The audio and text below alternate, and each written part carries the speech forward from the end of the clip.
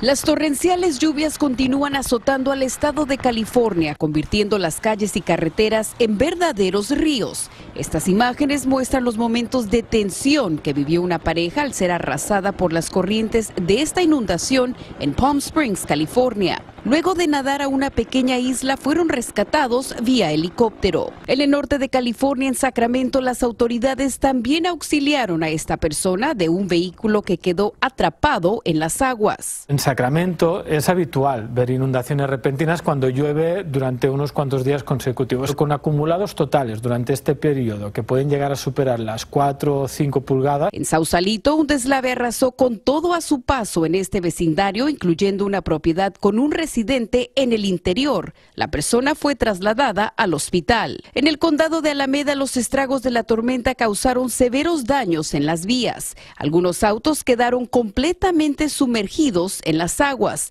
mientras que otros quienes se atrevieron a cruzar las vías inundadas terminaron pidiendo socorro. Les avisamos a las personas por modo de Twitter, Facebook, de las carreteras que van a estar cerradas.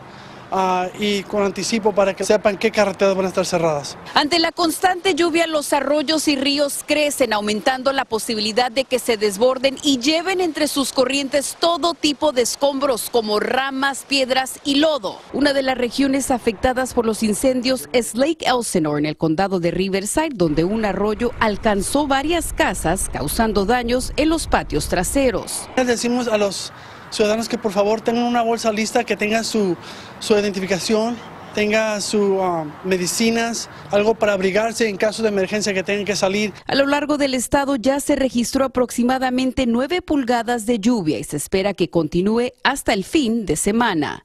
En Los Ángeles, Dulce Castellanos, Univisión.